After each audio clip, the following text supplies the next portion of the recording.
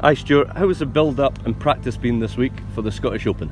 Yeah, it's been good. Um, I drove up Monday afternoon from Wales. Um, got your Monday night, played an early practice round on Tuesday morning. Obviously, it was a little bit wet, but as you can see, um, the sun's come out finally. I think we're in for a good week. Uh, the course is in superb condition, really like it, so uh, I'm looking forward to it actually. Yeah. What are your ambitions for this week, Stuart? Um, ambitions this week, my game's in pretty good shape. Um, I'd like to get into contention, come the back nine on Sunday, that'd be great. I think um, if I could then maybe sneak an open spots and then fingers crossed here try and contend for the tournament, um, it would be great.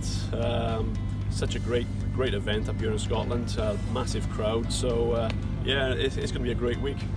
Knowing that there are three available open spots this week, Stuart, does that add any more pressure to the week?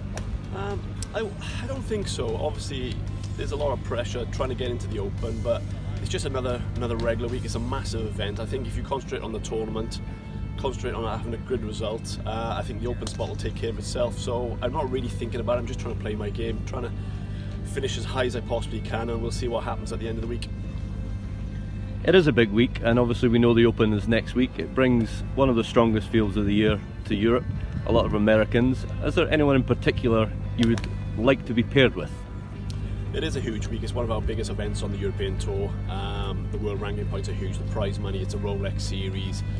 Uh, several Americans are over, which always adds a little bit of extra flavour to the tournament. I think if you got drawn with Rickie Fowler, maybe Kuch, um, one of those big guys would be great. On the other hand, as well, if you're drawn with Rory or top European players, that would be fantastic as well. So, uh, like I said, just try and get into contention, and then I think you'll get a big name regardless then. Obviously, playing at the home of golf here in Scotland, Stuart, what would it mean to lift the trophy here on Sunday evening?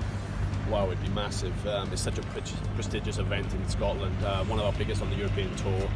Uh, the world ranking points, it's a Rolex event, uh, the exemptions which come with it, and it'd be massive. Not only that, the crowds are huge, they're very knowledgeable. Um, it, it would be a dream come true. Can you, if you can, Stuart, pick out one career highlight for us, please?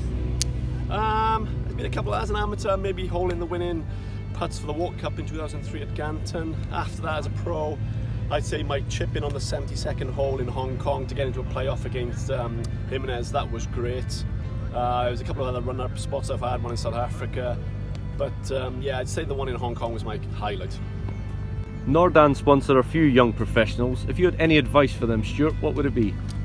Yeah, uh, I think they're supporting some really good talented youngsters. Um, advice for them? It's like like you see on the Ranger everybody's working extremely hard. Um, the more you put in obviously the more you get out of the game. Um, I think there's always somebody practicing harder. That that's in the back of my head. I feel I feel guilty sometimes when I'm not doing 12 hours a day but I think that you just got to practice practice and practice. Um, and then hopefully the results will come and they'll have great careers and uh, I'm sure with the help of NorDan they'll be fine